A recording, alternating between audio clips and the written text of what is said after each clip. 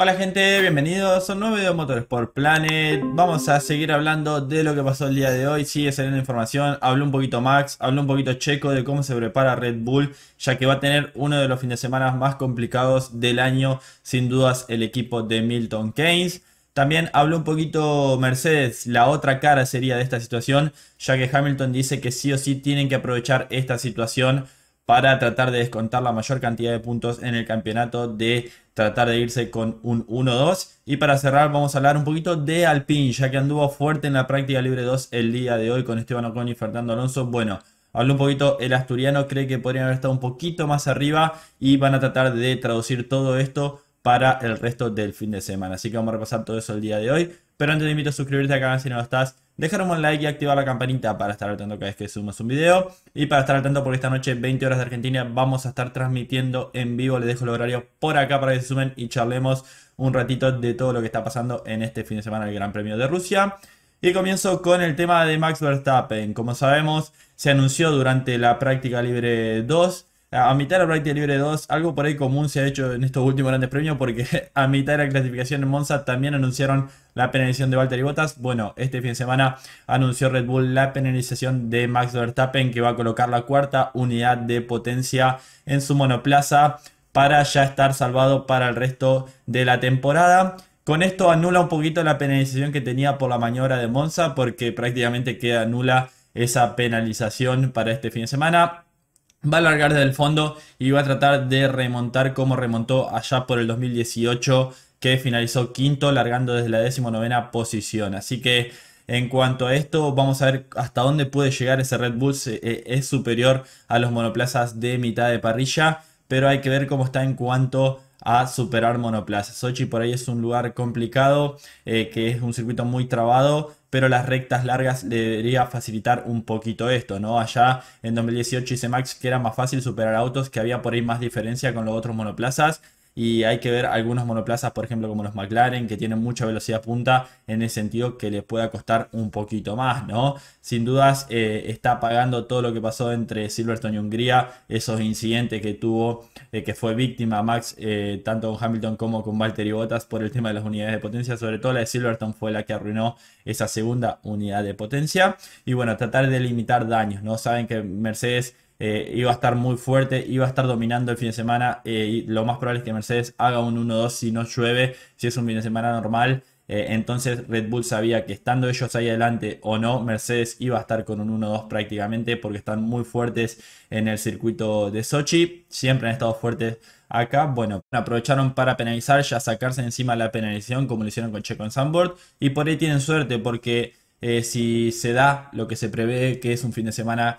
bajo lluvias, bajo bastante agua en Sochi. Le puede venir bien a Red Bull, por ahí podemos tener una carrera como no nos acostumbra Sochi, siempre son carreras monótonas en el circuito ruso. Bueno, por ahí tenemos alguna que otra carrera loca. Hemos tenido carreras locas en Paul Ricard, no carrera loca, pero sino carrera eh, interesante, divertida carrera loca en Hungría, eh, por ahí eh, Sochi, que es uno de esos circuitos que también está en el calendario, como esos circuitos que aburren un poquito, que salen carreras monótonas. Bueno, por ahí tenemos una buena carrera este año en el circuito ruso. Así que sin dudas, Max está confiado. Habló un poquito el piloto holandés de que puede remontar, que va a ser complicado, pero que cree que pueden limitar los daños. Así que dijo lo siguiente el piloto holandés. Por supuesto, en 2018 las diferencias con la parte media eran un poco más grandes, así que naturalmente creo que será un poco más difícil pasar. Tenemos que tomar la penalización de todos modos, y si no lo hubiéramos tomado aquí, lo habríamos hecho en otro lugar. Pensamos que bien, decidimos hacerlo aquí y trataremos de sacar el máximo provecho en la carrera. Dije antes, tendríamos todo en cuenta, también el clima, pensamos que lo mejor sería tomar la penalización aquí. Solo trataremos de hacer el mejor coche de carreras posible para este fin de semana, por supuesto, una vez que decidimos tomar ese motor. Espero, por supuesto, que funcione, pero mañana primero vamos a esperar y ver cómo será el tiempo. Bien, ahí están las palabras de Max. Como dice, antes había un poco más de diferencia, por ahí era más fácil pasar, pero con el monoplaza que tiene el Red Bull S puede andar bien, aunque hoy se quejó en la práctica libre 2 que no tenía velocidad punta, ¿no? que era imposible pasar, eh, sobre todo cuando iba detrás del Russell de Williams, si no me acuerdo en la comunicación Em, con radio, ¿no? Si no recuerdo mal, que ahí se estaba quejando de que no podía pasar. Bueno, van a tener que configurar ese monoplaza para que avance puestos. Por ahí no me sorprendería que lo podamos ver largando del box el domingo si llueve mucho. Por ahí para hacer unos últimos retoques, romper el parque cerrado, el equipo mm, Red Bull decide largar desde el pit y eh, modificar o dar vuelta a todo ese monoplaza. ¿no? Le va a permitir trabajar eh, hasta más adelante en el fin de semana, porque sabemos que después de la clasificación del día sábado no se pueden tocar los monoplazas si rompes el parque cerrado penalizadas. Entonces Red Bull ya está penalizado y podríamos ver algo así. Como dice, van a esperar para ver cómo será el tiempo para tratar de configurar ese monoplaza de la mejor manera. Así que Cierro por acá con Max y me voy a hablar un poquito de su compañero equipo de Checo que estuvo complicado, no estuvo todo cómodo el día de hoy en Sochi, esperaba estar un poquito más fuerte, más cerca de los Mercedes, pero cayó la realidad, ¿no? Al piloto mexicano de que están lejos, de que Mercedes está muy fuerte acá y realmente Red Bull lo necesitaría a Checo ahí arriba, ¿no? Por lo menos en el top 5, top 4, eh, si se coloca tercero detrás de los Mercedes sería lo ideal para Red Bull, ¿no? Pero eh, hay que ver cómo está mañana en clasificación, que no ha estado fino durante este año a una vuelta el piloto mexicano. Eh, él tuvo buenos resultados, como ya lo analizamos durante la semana en esta pista. En Sochi en 2015 hizo podio, el año pasado terminó cuarto pero realmente está un poquito complicado ese Red Bull. Nunca le ha venido bien el circuito ruso al equipo de Milton Keynes. el año pasado finalizaron el podio por primera vez con Max Verstappen, que terminó prácticamente aburrido la carrera, ¿no? Porque él dice que iba girando solo ahí y que no tenía mucho más que hacer. Así que sin dudas tienen que trabajar. Checo dice que hay mucho para mejorar para lo que resta del fin de semana. Estuvo bien en el sector 1 y 2, explica el piloto mexicano, pero le complicó mucho el sector 3, ¿no? Ese sector que es bastante trabado, el último sector de Sochi. Bueno, ahí es donde más le costó al Red Bull y hay que ver cómo lo pueden modificar para el día de mañana, también teniendo en cuenta, como ya dijimos, el tema del tiempo, que no es un dato menor porque dan lluvia para el día de mañana, incluso como dije en el resumen del día de hoy, la Fórmula 1 se está planteando suspender la prueba de clasificación porque se espera mucha lluvia para el día de mañana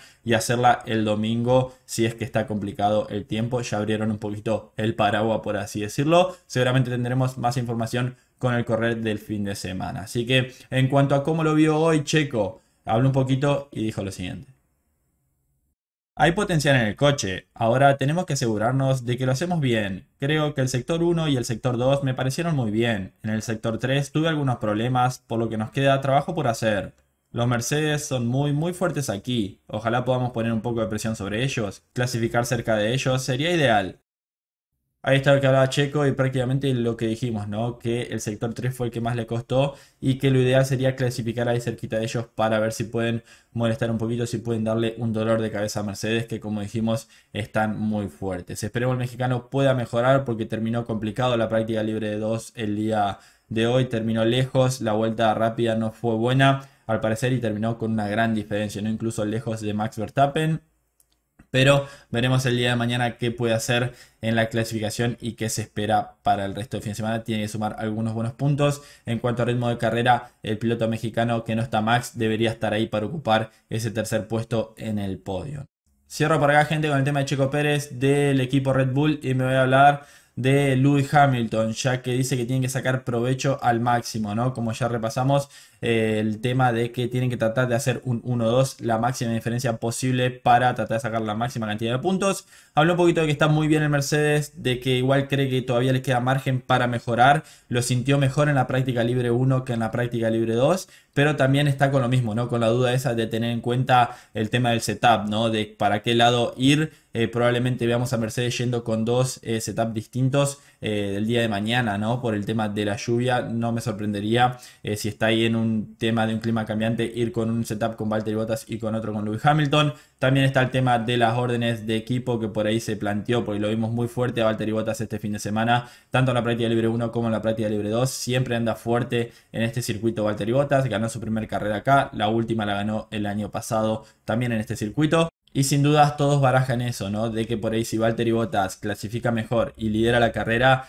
de que no hay dudas de que le va a dar la posición a Lewis Hamilton. Lo ideal para Mercedes es tener un 1-2 este fin de semana para seguir extendiendo esa diferencia en el campeonato de constructores y que Hamilton pueda eh, disminuir la diferencia en el campeonato con Max Verstappen y quien dice no, irse primero de este fin de semana, que es el último fin de semana fuerte que le queda a Mercedes, porque en Monza también tenían un monoplaza superior y no pudieron hacer diferencia, incluso perdieron dos puntos en el campeonato de pilotos por la carrera sprint y bueno, cuando abandonaron los dos se quedaron sin puntos tanto Max Verstappen como Lewis Hamilton. Bueno, acá sí tienen que aprovechar a full también la penalización de Max Verstappen como dice Lewis, ¿no? Así que fin de semana interesante que se lo vio muy cómodo hoy al equipo de Brackley pero la lluvia por ahí le puede llegar a complicar un poco las cosas. Así que en cuanto a todo esto, habló un poquito el 7 veces campeón del mundo y dijo lo siguiente. Es un mal trago para él sin dudas, pero tenemos que intentar capitalizarlo y obtener el mejor resultado posible. Un 1-2 sería espectacular para nosotros como equipo. La primera ejecución de la primera sesión fue la mejor. Desde entonces nos hemos ajustado mucho y no fue tan bueno después cuando empiezas a empujar. El día de hoy en general fue bastante bueno, pero probablemente haya trabajo por hacer a largo plazo. Sin duda, seguiremos empujando para sacar lo mejor del monoplaza. Ahí hablaba Luis y sin dudas no es un mal trago para Max y tienen que capitalizarlo a full como dice. Lo ideal sería un 1-2 que ya lo hablamos. La primera sesión fue buena como dijo, después empezaron a tocar cosas y no le cayó también al W12, pero creo que tiene margen y tiene diferencia con el resto ese monoplaza de Mercedes. Hoy en general fue bastante bueno como dice el día, a pesar de que no pudieron mejorar tanto la práctica libre 1 a la libre 2 pero les queda trabajo por hacer el viernes al sábado, al día de mañana y como dijimos, el tema del setup, estar atento a las condiciones del clima va a ser muy importante para el desarrollo del fin de semana. Pero por ahí si Mercedes no se va con un 1-2 este fin de semana, puede llegar a ser eh, un poquito un fracaso, ¿no? Para lo fuerte que están y además aprovechando la penalización de Max Verstappen. Mínimo tiene que tener un 1-2 el equipo de Brackley para presionar en el campeonato. Así que gente, cierro con el tema del equipo Mercedes. Y me voy a hablar del equipo Alpine, que la verdad que ilusionó un poquito en la práctica el día de hoy, ya que terminó quinto Esteban Ocon, octavo Fernando Alonso en la práctica 2. En la práctica libre 1 terminaron décimo Alonso y un décimo Esteban Ocon ahí por poquito tiempo separados. Pero cree Fernando que había un poquito más para sacar, incluso en su mejor vuelta que podía estar cerca de Esteban Ocon, porque lo agarró justo la bandera roja de Giovinazzi que chocó y bueno, sacó la bandera roja y justo estaban terminando todos con su simulación de clasificación y quedó enganchado ahí el piloto asturiano que como dice, hay un margen y hay que tratar de capitalizarlo para el sábado y para el domingo, porque por ahí los viernes normalmente anda fuerte al pin, pero después le cuesta un poquito más el sábado y el domingo. Eh, está muy fuerte el Alfa Tauri de Pierre Gasly, que ya lo analizamos también, que es el principal eh, oponente de ellos en el campeonato de constructores, ¿no? Porque prácticamente está haciendo de carritos, su noda por ahí no lo tenemos en cuenta porque está muy desaparecido. Así que tiene eso, ¿no? Alpine por, por, lo menos tiene los dos monoplazas juntos y ahí para pelear y para sumar, comparados con el, con el Alfa Tauri que tiene uno solo que es Pierre Gasly, ¿no? Realmente cree que hay trabajo por hacer, que hay cosas para mejorar que sin dudas eh, podría haber mejorado y eso lo espera hacer para el día de mañana. Están muy parejos ahí con Esteban Ocon, con Alonso, ¿no? Los dos pilotos del equipo Alpine. En el ritmo de carrera también estaban muy cerca, una décima los separaba a los dos, estaban girando en 48, 47, muy similar al tiempo del Alfa Tauri de Pierre Gasly. Así que nos queda una carrera creo interesante para este fin de semana, sobre todo en cuanto al ritmo de vuelta que demostraron hoy los equipos, muy parejo al pin, muy parejo Alfa Tauri, incluso por momentos eh, Aston Martin demostraba estar ahí cerquita de ellos, hay que ver con qué carga de combustible estaba el equipo británico, Ferrari tampoco estaba muy por delante del equipo Alpine, estaba uno o dos décimas eh, por delante, no más. Y así que podemos tener ahí interesante y sobre todo si llueve, ¿no? Bueno, si llueve al pin se le puede complicar un poquito las cosas, como dijo Fernando Alonso, que la lluvia no le viene bien al monoplaza de ellos de esta temporada. Normalmente las carreras con lluvia no les ha ido bien, a excepción de la carrera Hungría, ¿no? Que lo único que tuvimos de lluvia en Hungría fue la vuelta previa, ¿no? Después se desató toda la locura aprovechando el error de Mercedes y ahí fue lo que mezcló todo un poquito después de la largada con Valtteri Bottas, ¿no? Así que sin dudas, si le dan a elegir a Fernando Alonso, prefiere que no llueva, que en seco anda mejor ese monoplaza de Alpine. Pero en cuanto a esto, vamos a repasar lo que dijo el piloto asturiano y luego lo analizamos. Sí, fue un viernes algo mejor que el de Monza, sin dudas. Nunca se sabe, porque los viernes parecemos competitivos en muchos fines de semana y luego volvemos a nuestra posición normal los sábados, por lo que tenemos que mantener la calma, también porque la climatología jugará sus cartas el sábado y el domingo. Lo que hicimos hoy podría haber sido inútil, en cierta manera, si llueve, pero al menos dimos un paso adelante con el coche y estoy contento con ello. Podríamos haber logrado un mejor tiempo de vuelta sin la bandera roja de Antonio, pero solo es viernes, así que vamos a ver lo que nos depara mañana. No creo que la lluvia nos venga bien, creo que históricamente hemos sido un poco mejores este año en seco que en mojado. Verstappen y Leclerc tienen sanciones, así que podemos ganar algunas posiciones gratis finalmente, al menos en la salida, aunque luego seguro remonten durante la carrera. Una carrera en seco puede ser mejor para nosotros.